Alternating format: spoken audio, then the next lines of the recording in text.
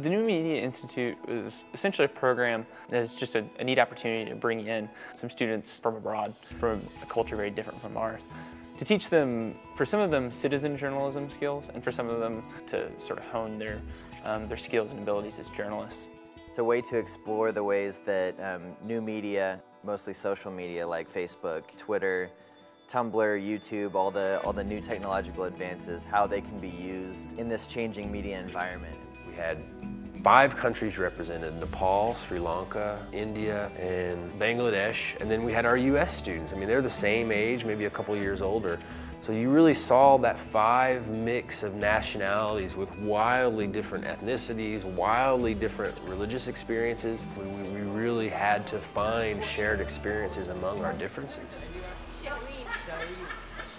Um, ever since I've been here in Norman, John and Kathy with have, uh, have been with us all the time.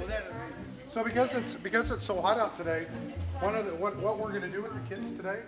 They made sure that we have a great itinerary plan, and they had um, awesome events planned for us. But uh, my favorite has been uh, going to the Paseo Arts Festival, um, having a creative bent of mind, and I love all quirky things. So being there was like a great experience. I don't have anything like that back home this was like an amalgamation of all sorts of performing arts and other arts.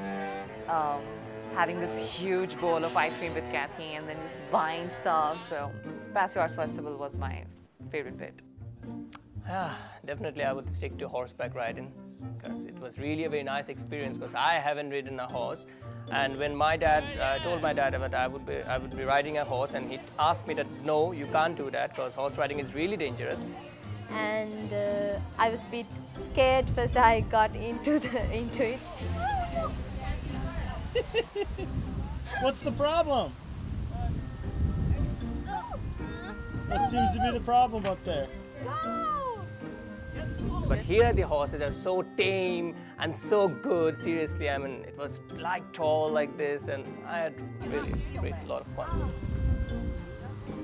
On the second occasion, uh, we went to an old citizen, uh, senior citizens uh, care shelter and we spent a lot of time with them. It was funny to see that how happy and content they are with their lives despite whatever's going on.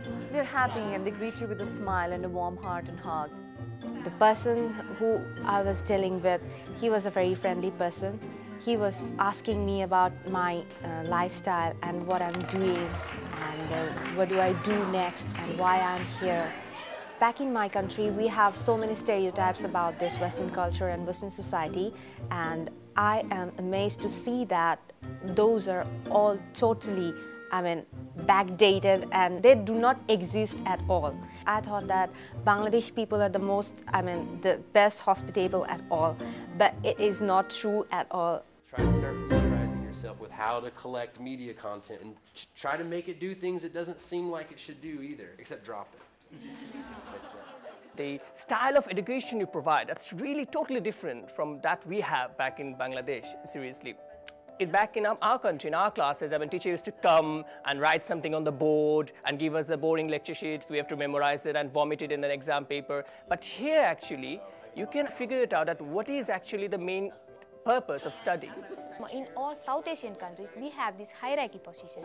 So we can't talk everything with the lecturers. But no, eh, when we talk about this situation they are sitting with us. There is no hierarchy. There's a same level.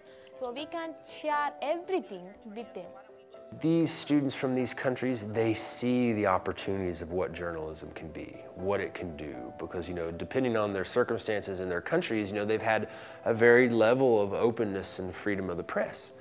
The real challenge for them is to go back and try to persevere in continuing on with this experiment in social media and new media and journalism when they're all on their own. We have to establish a particular kind of uh, a genre where people will be informed, people will get information through the latest means of uh, communication, latest means of uh, technology. If they can get that point where they truly believe that they have a voice and to, to kind of share that voice with others, you know, we, we've made it A grade. Uh, I made some small documentaries about the drug addiction in our, my country, in Bangladesh. Most of the drug addicts in my country are teenagers.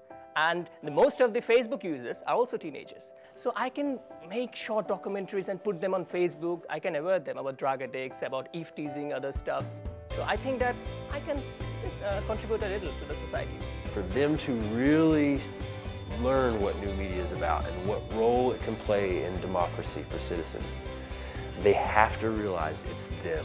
It's only them. Very important for a country like mine to make the people informed about the things going on. I think the amount of confidence that the teachers and faculty show in the students is just marvelous and it's really encouraging for me as a student. We have to keep that confidence in us. We have to keep that faith. Something provokes me from inside. Go, Yas, go, you can do it. Go, Yas, go, you can do it.